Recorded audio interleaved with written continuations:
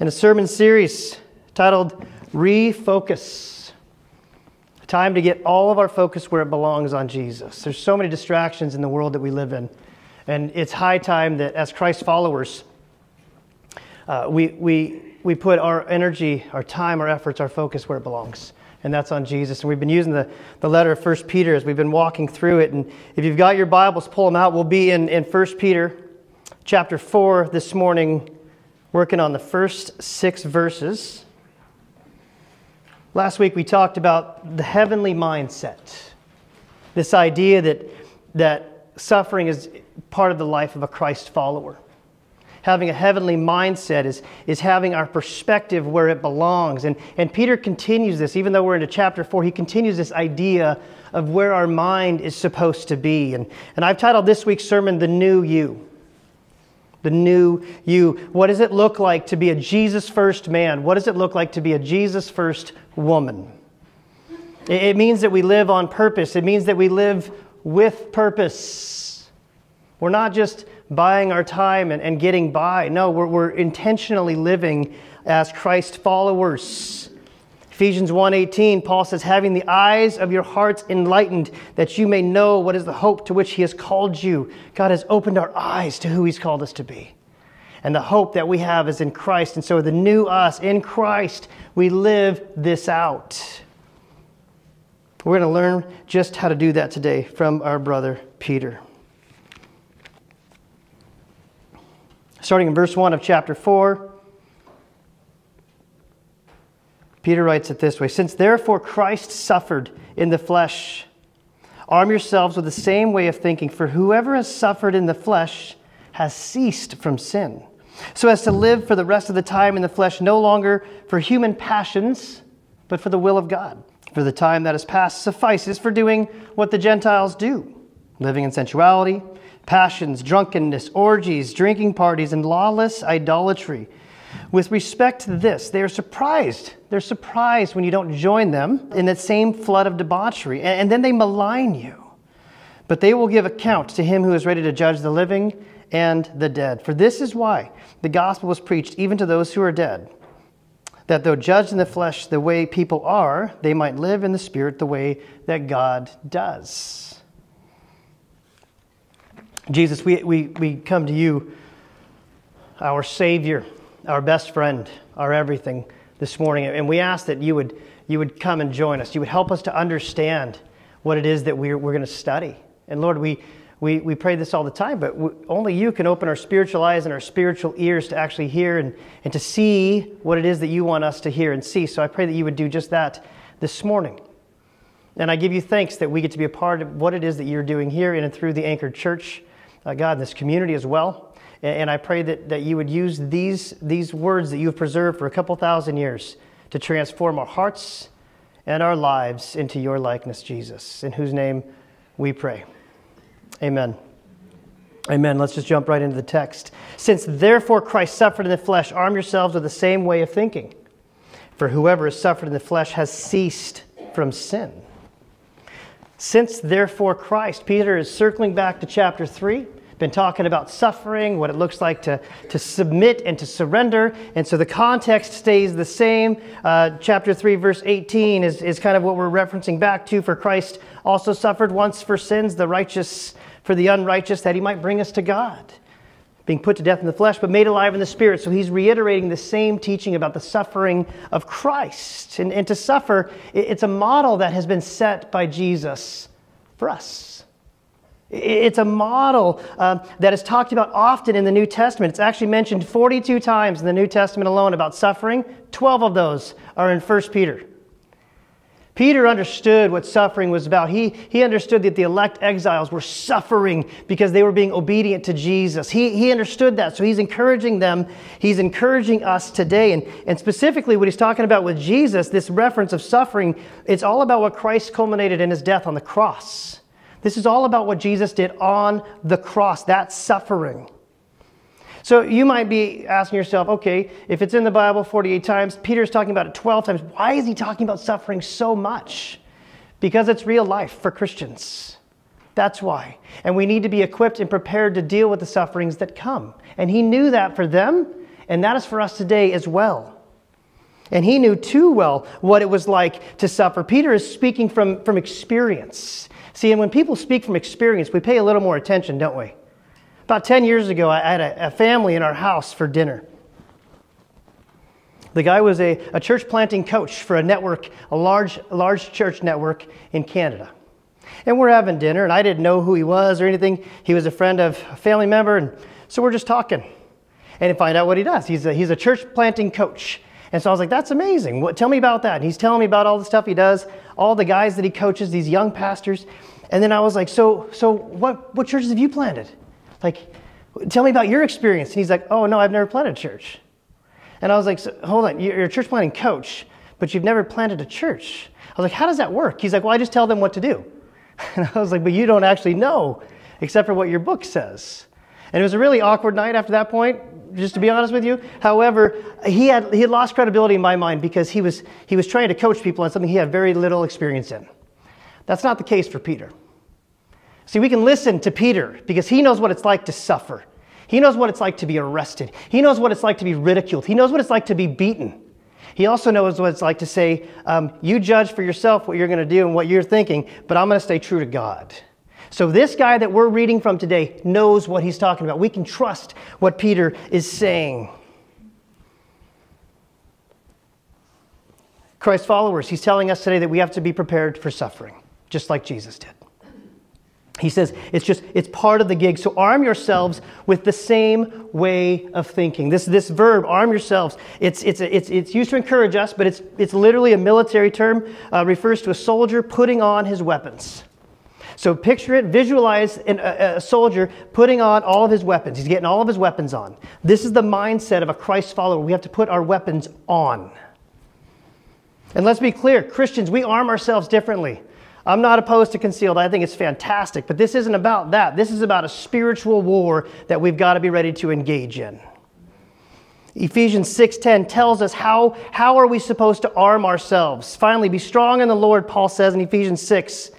In the strength of his might, Christ's followers put on the whole armor of God, that you may be able to stand against the schemes of the devil. We're arming ourselves according to Jesus Christ here. He says, We don't wrestle against flesh and blood, but against the rulers, against the authorities, against the cosmic powers over this present darkness, against the spiritual forces of evil in the heavenly places. Paul's not done. He says, I want you to take up the whole armor of God, that you may be able to withstand in the evil day, and having done all, to stand firm. We've got to get armed, Paul says. And how do we do that? Stand therefore, having fastened on the belt of truth, and having put on the breastplate of righteousness, and the shoes for your feet, having put on the readiness given to, given to us by the gospel of peace. In all circumstances, take up the shield of faith with which you can extinguish all the flaming darts of the evil one. Christians fight differently. We arm ourselves differently. Take the helmet of salvation, the sword of the, sword of the Spirit, which is the word of God praying at all times in the Spirit with all prayer and supplication. We arm ourselves differently. So picture a soldier putting on his weapons. This is what Christ followers do. We don't even get out of bed and we grab our gear. We're arming ourselves before we even start the day. That's how we arm ourselves for Jesus. And you know what? It's amazing. Christ never asks us to do something that he himself wasn't willing to do. It's one of the things I love about Jesus. Kids, Jesus armed himself with the truths of God's word. So we get armed just like Jesus did. We get in the word every day. Every day we're to be in the word of God to beat the devil. we got to know how to live, right? But we also got to know what his lies are. So we've got to be in the word to arm ourselves. You're going to starve if you rely on my preaching for one hour a week. It's not enough. Every day we are in the word of God should want to, right? See, we have, we have to have this same way of thinking. We've got to think like Jesus. We've got to be ready, like Peter's talking about. We've got to have this mindset, this attitude of the heart, the same way of thinking. Outlook determines outcome. Cute little one liner, but the mind is a very, very powerful thing. And we're being told today by Peter, our mindset has to be right. It's powerful. Philippians 4 8, finally, brothers, whatever is true, whatever is honorable, whatever is just, whatever is pure, whatever is lovely, if there is anything worthy of praise, think about these things. Think about them. Romans 12, 2, do not be conformed to this world, but be transformed by the renewal of your mind, how you perceive things, how you think. Be transformed by the Holy Spirit's renewal of our mind. Colossians 3, set your mind on things that are above. What are you thinking about? 2 Corinthians 10:5 we destroy arguments and every lofty opinion raised against the knowledge of God and we take every thought captive to obey Christ. Your minds are powerful. Where does your mind go when you're arming yourself? It needs to go to Jesus. It needs to go to the tools that he has given us. If Jesus would suffer for me, if Jesus loved me so much, then I will suffer for him because I love him that much. Is that true for you? So then, then what's next? He, he says, For whoever has suffered in the flesh has ceased from sin. This is the attitude of Jesus Christ being lived out in our lives. This is the attitude of the new you, not who you used to be. That guy, that gal, that is not who you are anymore. Whoever has suffered in the flesh has literally ceased from sin. When a believer truly, fully surrenders, when a, when a believer completely identifies themselves with Jesus Christ, they're done with sin. It's a line in the sand, is what this means. When you are firmly rooted in Christ, this is how it applies to you. It means that Christ followers, we live a life abandoned to sin. We don't manage it. We don't play with it. We don't tolerate it a little bit, tolerate it at all. No, no, no. We're done with it. We've ceased from it because we are being called to this level of, of persecution. We're being called to this level of suffering. We're being called to this level of loyalty with Jesus. And it means that we've got to cease from sin. It doesn't mean we're going to do it perfect. It doesn't mean we're going to do it perfect. Jesus does it perfect. That's why we need him. But it does mean that we're called to be sinless. And as you well know, that means that we sin less and less every day because we love Jesus more and more. We cease from our sin. It means to be done with. In the Greek, Peter chooses the, the perfect tense in the verb, this verb sense. And that might mean nothing to you, but perfect tense indicates that an action occurred in the past and its effects are in the future. And so it means something happened back here, but the effects come later. That's what this, this verb style means. And, and what we know is that Jesus Christ suffered and he took all of our sins on the cross. That was the event that happened. But what happens in the future is because of that, we can now cease from our sin. We can now be done with it all because of what he did for us. And it does not say in here that suffering itself causes a person to stop sinning. We know that's not true. Look at Pharaoh. that dude suffered over and over, and he just got worse. It didn't turn him to repentance, his suffering made him bitter. How many people do you know that go through life, and the more suffering they experience, the more bitter that they get? That's why we need Jesus, because we suffer differently. So when we suffer, it causes us to cease from our sin, not go to it.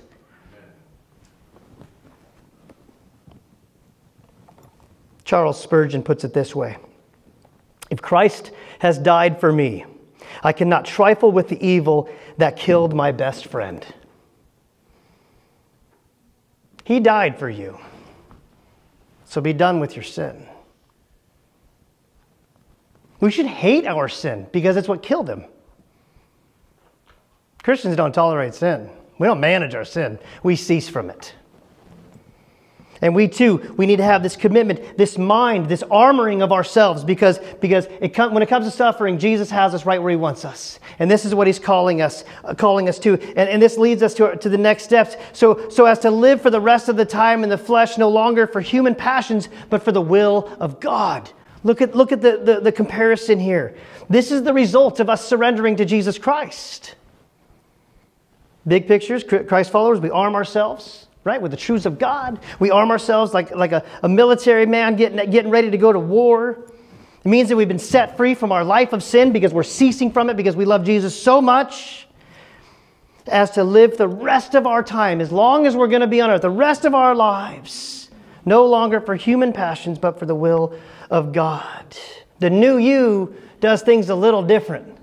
The new you not only draws a line in that sand, but doesn't actually go up to it anymore. Because you want to cease from this sin. You want to be done with this human passions. You guys know, James says life is but a mist and a vapor, and it's over. Live your lives on purpose. Live your lives, the rest of your lives, no longer for the flesh, no longer for temporary pleasures, no longer for what just makes you happy or you think is going to make you happy. It's not worth it. Means we die to ourselves, not just to our physical desires, but, but those, those sinful, thoughtful cravings that we have. All of those gotta, gotta go. The new you doesn't give in to addictions or vices or excuses anymore. That was the old you. that, that, done. Out with the old, in with the new. That is not for Christ followers, no longer for human passions, but for the will of God. You either obey or you disobey. That's it. Our past is who we were, but because of Jesus, our present and our future is who we are. He has transformed us into the likeness of His image, into God Himself. We get, to, we get to chase after holiness and pursue righteousness now. No longer what we want, no longer the passions of the flesh. Kids, Jesus' first men and women deny the flesh and pursue what God wants. Peter talks about this exact thing four times in this letter alone. He's like, I need you to get it. I need you to get it. I need you to get it. We're to keep away from anything that doesn't look like Jesus. And it's pretty obvious what is not of Jesus. And so, how you live your life on display is what you believe. And so, if you're living your life like a sinner and a pagan and a non Christian, well, let's just call it what it is. But if you hate your sin, you're chasing after Jesus, you're trying to do what's right, now we're starting to talk. Now we're talking. Now we're starting to cease from our sin because we're chasing what is right, no longer for human passions, but for the will of God. I love how Peter just makes things black and white. He, he doesn't leave a lot of ambiguity in this one at all, right? We talk about there's Team Jesus, there's Team Satan, there's really only two teams. Well, this is exactly what Peter's saying there's flesh and there's God's will. They're, they're diametrically opposed to each other. So you choose, it's up to you how you want to live your life. For those that are Christ followers, you will then cease from sin. You will no longer pursue the passions of the flesh, but for the will of God. The will of God is what He wants for you, His highest and best calling for you. It's you saying no to sin and yes to Him. That's what this is. You chase after the flesh, you, you reap shame and condemnation and guilt and havoc on your marriages and your homes and your businesses and your churches and your communities and your relationships because you chased this. But then now God says, I want you to chase my will. I want you to chase what I want for you. I want you to chase what is right and righteous. And you'll reap blessing, you'll reap favor, you'll reap contentment. In a crazy, broken world, you'll still have contentment. No longer for human passions, but for the will of God. Christ followers, that is our calling. Team Jesus and God's will. No more excuses, no more justifications. Maybe you just maybe you did it wrong this week and you're like, "I'm done doing it wrong. I'm done." Jesus, I just want to do your will. Forgive me for not doing it right. He goes on, he says, The time that is past suffices for, for doing what the Gentiles want to do living in sensuality, passions, drunkenness, orgies, drinking parties, and lawless idolatry. He says, You used to live like that. You used to live like a Gentile. You used to live like a non Christian. But no, no, no, not anymore. That, that was the old you. The new you, uh, that's not you. That's not who you are. Acts 17 30. The times of ignorance God overlooked, but now he commands all people everywhere to repent. The new you no longer enjoys your sin. The new you no, no longer uh, pleads, can plead ignorant because God has revealed to you what is sin and what is not. So now you're held to an account. So God's not going to overlook that. We don't get to plead the I don't know card or I didn't know. Because we do know. We do know what God's calling us to. So we just have to have to do it. The new you in Christ should hate your sin. Hate all sin. Because God does. See, and, and it's, it, that time is past. It's no longer for Christ followers. We don't, we don't get to live like our non Christian neighbors and, and, and to do what the Gentiles want to do. Their desires are for sin, it's what they want. They want to sin. Christ followers, our desires are to do the will of God, not to sin, right? So, Peter, what he does, he gives us this amazing black and white list. Again, Peter, black and white, about living in sensuality. What does this actually, he gives us some pretty decent details, so it doesn't leave much for, uh, I'm not sure exactly what he meant here. No, he, we know exactly what he meant. Because he says they, were, they want to live in sensuality. In the Greek, it's actually plural. It means all kinds of sin. It doesn't just mean sexual sin, it, it means evil appetites. they, they have this desire to do evil. They just want it. They just, it's what they crave. Does that sound like Jesus to anybody here? No. No. Non Christians, they, they, they, it means they disregard uh, a majority of, of self restraint and self control. They just give in because it's what they want. Only you can answer what you truly want. And so he gives us this list of what these things of sensuality are passions. It means you have an appetite for sin, you have a desire, this evil desire to want what's not yours desire for what is forbidden. That's this, the, these passions of, and, and, then another one would be drunkenness. It, it means overflowing with wine. Overflowing with wine. It, the King James says wine babbler. It's, it's overflowing. Let's be super clear. Alcohol is not a sin. Drunkenness is a sin. Christ followers, we do not get drunk. We cannot be out of our mind. The devil has a playground when we're high or drunk. And it is not for Christ followers whatsoever. So, this idea of, of overflowing, I mean, I look at Paul, he says, Ephesians 5, don't get drunk with wine, for that's debauchery. And he says, do the opposite, be filled with the Spirit.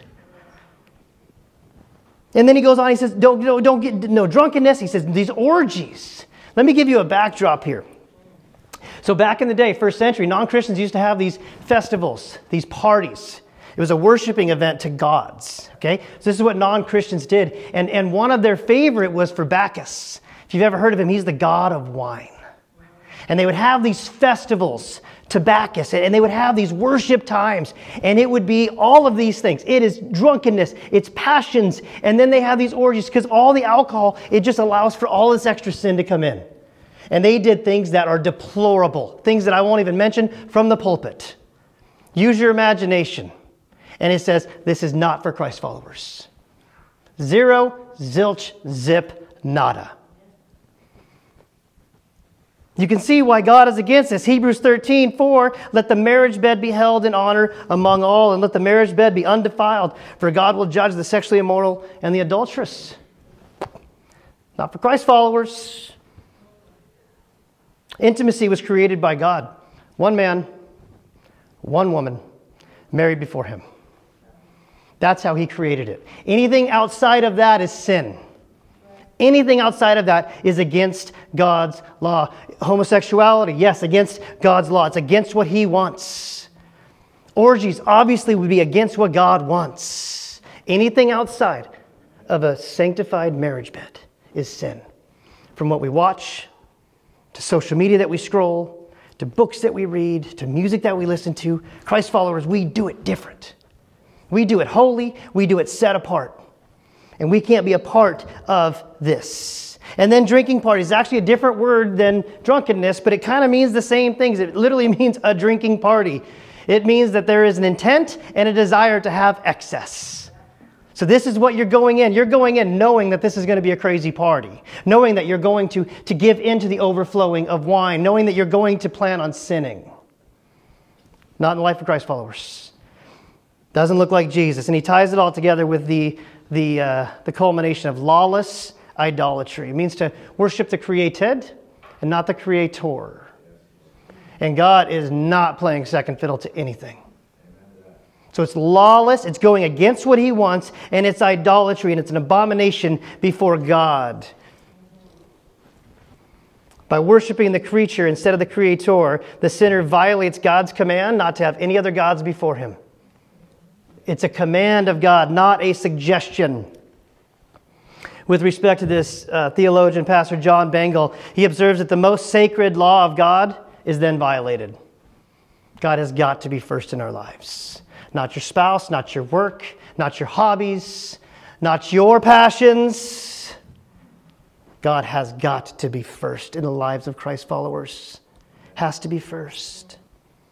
Can you see how this whole list behind me is not to be a part of any of our lives? Even more than that, Paul says in 1 Corinthians 6 9, do you not know that the unrighteous will not inherit the kingdom of God? Those that do these go to hell. They will not inherit. Do not be deceived, neither the sexually immoral, idolaters, adulterers, nor men who practice homosexuality, nor thieves, nor the greedy, nor drunkards, nor revilers, nor swindlers will inherit the kingdom of God. And such were some of you, Paul says.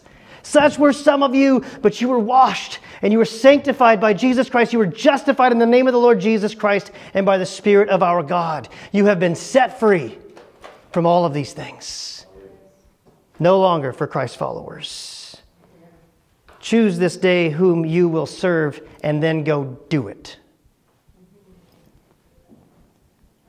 Kids, Christ followers can't be chasing sin and Jesus at the same time.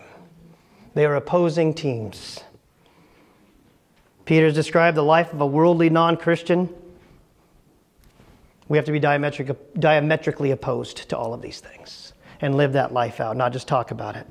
So Peter explains how, how uh, uh, he keeps going, how different we're supposed to be. He says, with respect to this, so with respect to all of these sins, they're surprised when you don't join them in the same flood of debauchery, and they malign you. in, in a world of sin, Christ followers, you, you have to set yourselves apart. They're not going to mock you and be surprised if you're joining them.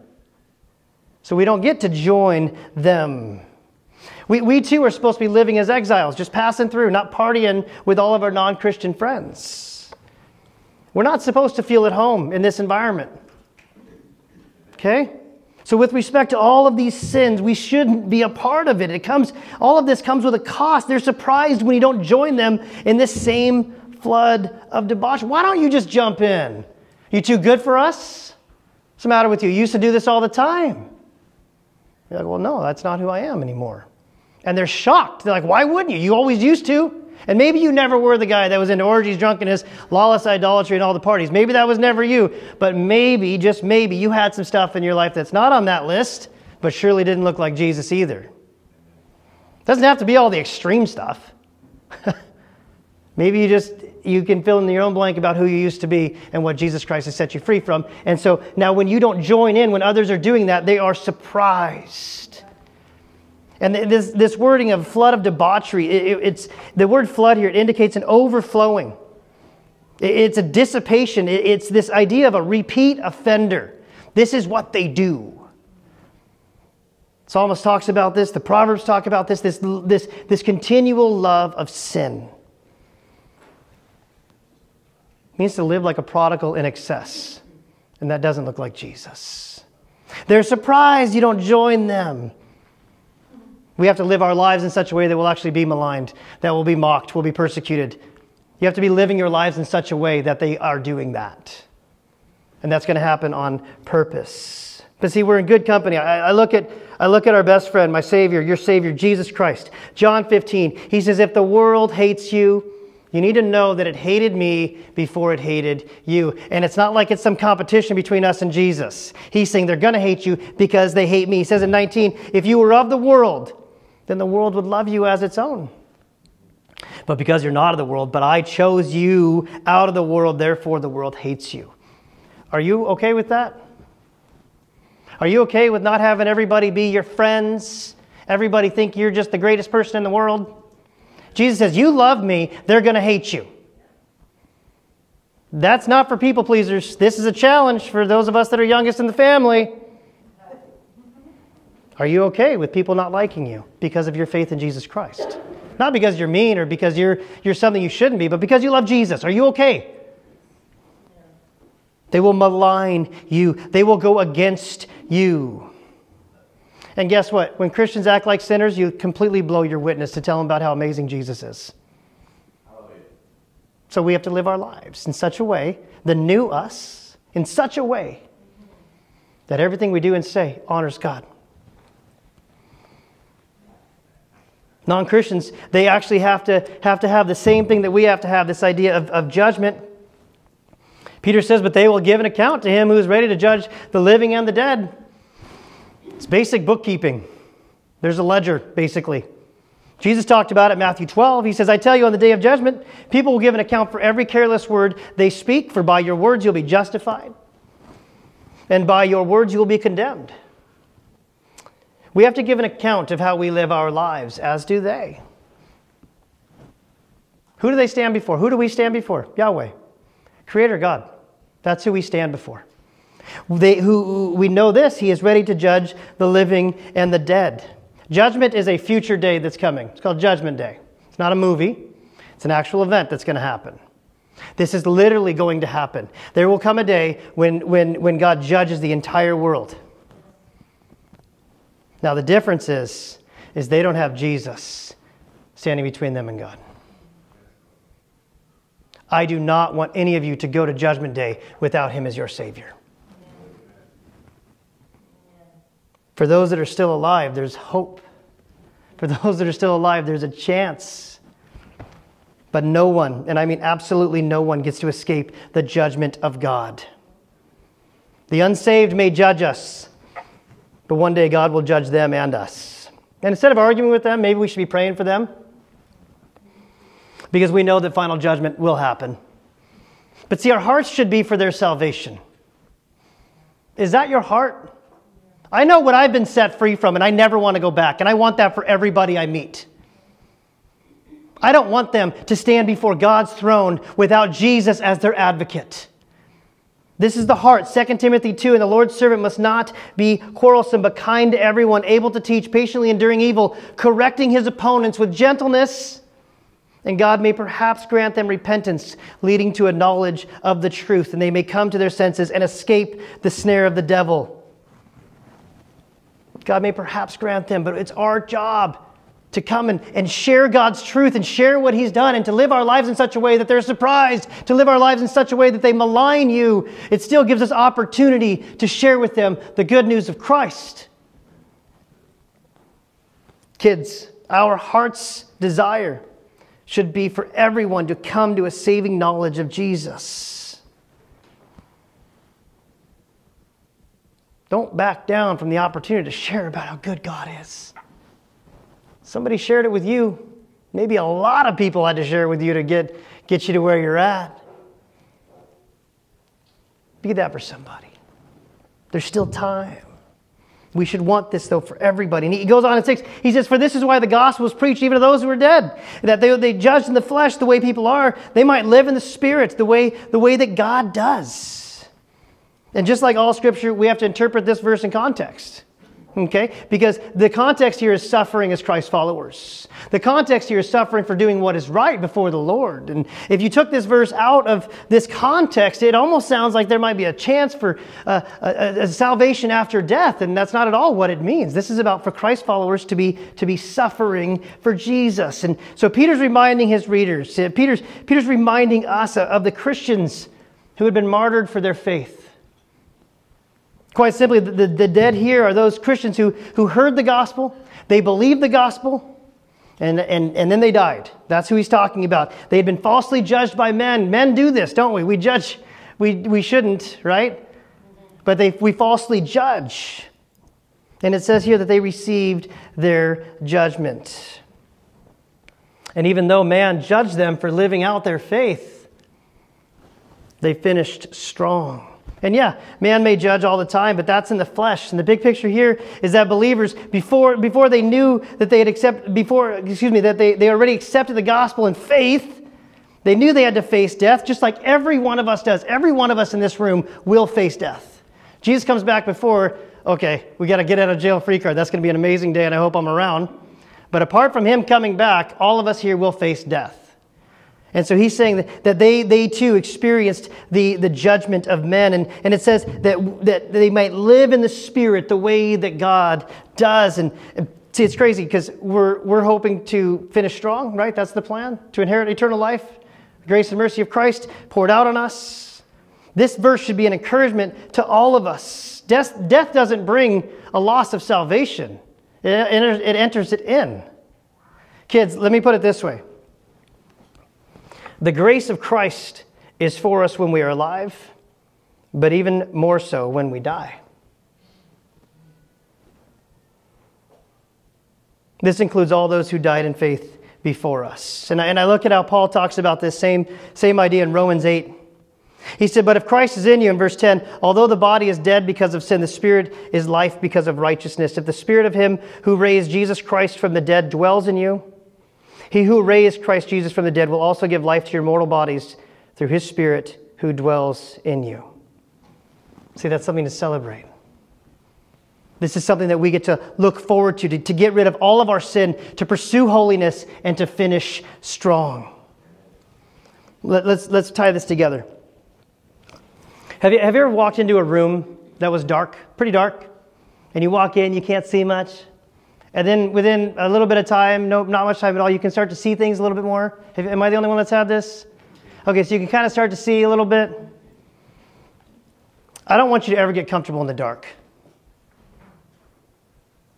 Don't ever get comfortable in the dark. Don't ever get comfortable doing what the world does. We are to be a light in a dark world, in a dark room, and suffering and persecution are coming because we are the light in that dark room. All the more reason for us to be, to be a light. So as we, as we wrap all this up, I, I, I want to reiterate a couple of things because I, I need to drive home a couple more points. One is, is we do like Jesus did. So we're arming ourselves just like he did. Jesus used the word of God to refute and defeat the devil. Why wouldn't we do the exact same thing? Part of that, a huge part of that, is you've got to know what the word of God is. I know I plead with you every week to be in your Bible. If you signed a membership document at this church, you committed to reading your Bible every day. It's part of it. It's what we expect of you. It's what God expects of you. I don't know about you, but I don't want to be ignorant of the schemes and the lies of the devil. I want to know what he's up to. We have a playbook. We understand his game. We, we understand his tactics. And we also understand how powerful God is. So we need to know truth. Food for our soul and a weapon against the devil is the Word of God. Knowing the truth, it also helps us deny the flesh. It also helps us pursue what God wants. That's good as we walk with Him. That's good for our marriages. That's good for our kids. It's good for our relationships. It's good for our church. It's good for our community. Deny the flesh. Super clear you can't chase sin and Jesus at the same time. Just doesn't work. Where are you at with that? It's easy to come to church and put on that Sunday smile. I don't want that in this church. I want honesty. You're not having a good week? Let's sit down and have a little chit chat. Let's get us where we need to go. We don't need pretenses here. Life's too short. We're, the hourglass is running out. Why don't we just be really honest with each other so we can do better, so we can chase Jesus more, so we can help other chase other people chase Jesus more.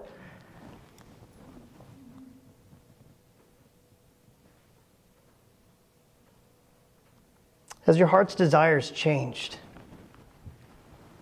as Christ has been working in and through you? What do you want?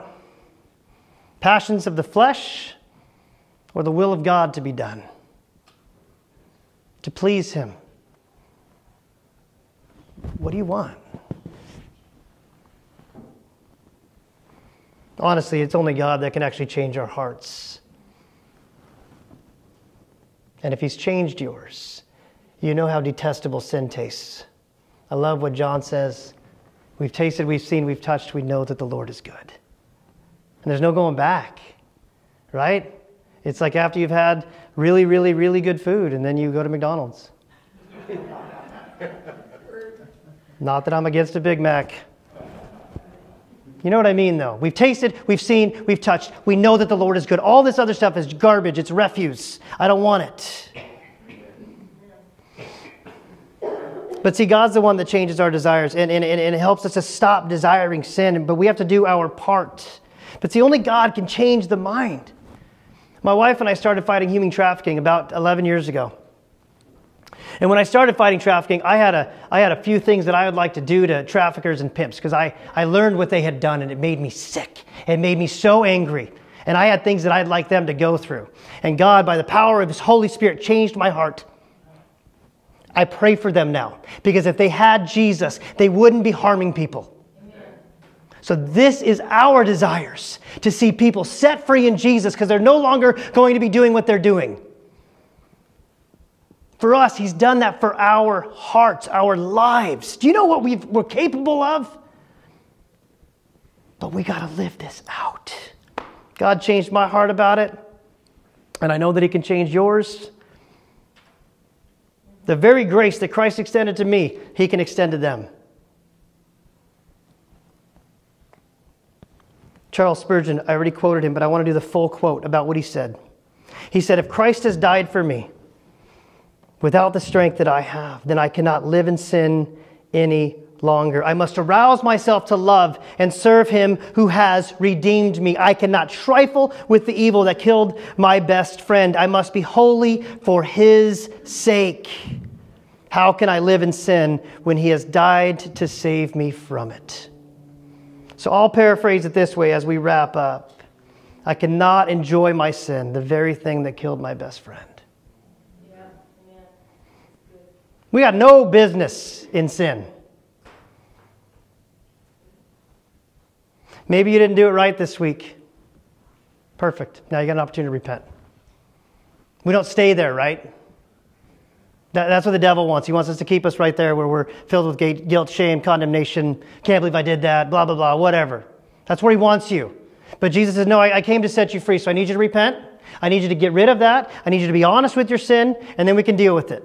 It's part of life. It's called sanctification. The Holy Spirit brings the heat of life. And in and, and, life, uh, we have trials, we have these temptations, we have things that happen. And, and through that, all of our infirmities come to the surface. Holy Spirit comes in and just wipes them all away but we've got to repent of them. We got to be done with our sin. We have to cease from our sin. Only you know where you're at today. But my hope is that you love Jesus more today than you did yesterday, and that tomorrow puts the day to shame. Amen? Amen? Pray with me. Father God, I, I, I humbly thank you for your word today. Your your reminders, God, your commands, they're not even just reminders, your commands on how we're supposed to live. God, and I pray that every one of my brothers and sisters here would hate their sin because they love you so much. God, I pray that you would defeat the devil in each of our lives, that you would cover us with your powerful Holy Spirit so we can go and be effective witnesses for you, sharing your message about what you've done. God, if there's stuff in our lives that shouldn't be there, I pray that you would convict us of it so we'd be free of it.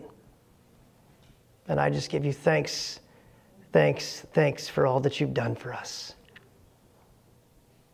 We love you, Jesus. In your name we pray. Amen. Amen.